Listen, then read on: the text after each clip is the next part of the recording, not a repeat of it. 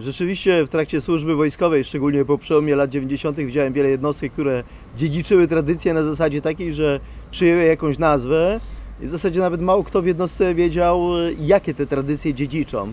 W Gromie było inaczej. Rzeczywiście co roku w Gromie odbywały się i odbywają się spotkania z cichociemnymi. Z cichociemnymi spadochroniarzami Armii Krajowej, którzy przybywają z całego świata.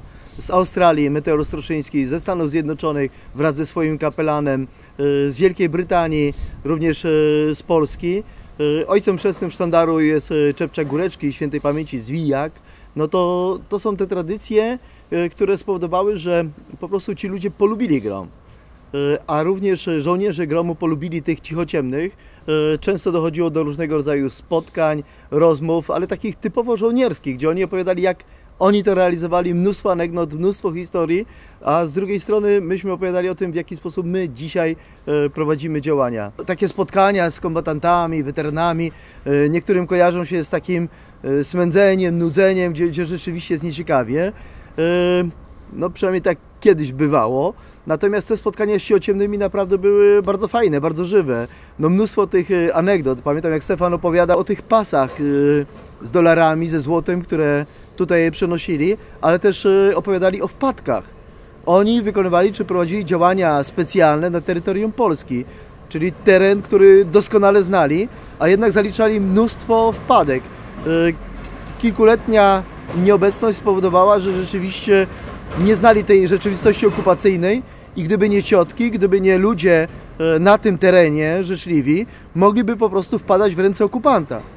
To szczeg- szczególnie tą wiedzę i tą informację dedykuję tym, którzy mówią, że obrona terytorialna e, to właściwie nie wiadomo po co, bo ona do niczego nie jest przydatna.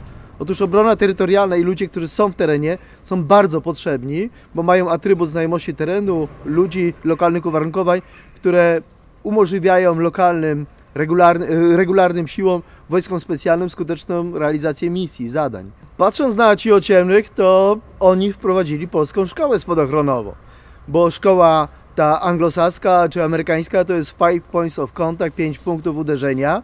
E, Oni e, w Wielkiej Brytanii wypracowali własny model przygotowania spadochroniarzy do skoków. Stąd też rzeczywiście ta oznaka, ta gapa instruktorska, ten symbol ciociemnych widnieje na mundurze każdego polskiego e, żołnierza, spadochroniarza.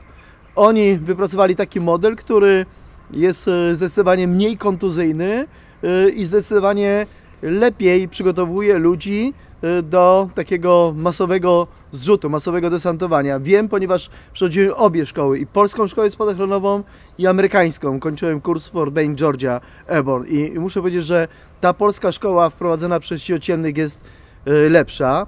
Również ten model partyzantki, którą e, wprowadzili też cichociemni, ale nie tylko cichociemni, bo ludzie, którzy tutaj na terenie okupowanym żyli, funkcjonowali na co dzień, on jest e, mocno studiowany przez e, naszych natowskich partnerów, chociażby przez Amerykanów. Okazuje się, że wiele tych rozwiązań po prostu nawet e, z dzisiejszego punktu widzenia sztuki wojennej jest dla tych ludzi interesujące. Oczywiście symbole są bardzo istotne. To tym symbolem jest ten szary beret, bo taki nosili e, ciociemni, ale symbolem jest też ten, ta gapa spadochronowa, ten pikujący orzeł, to zawołanie Tobie Ojczyzno. Y, bo to pokazywało, jaki system wartości panował wśród ciemnych i taki chcemy, żeby panował w gromie.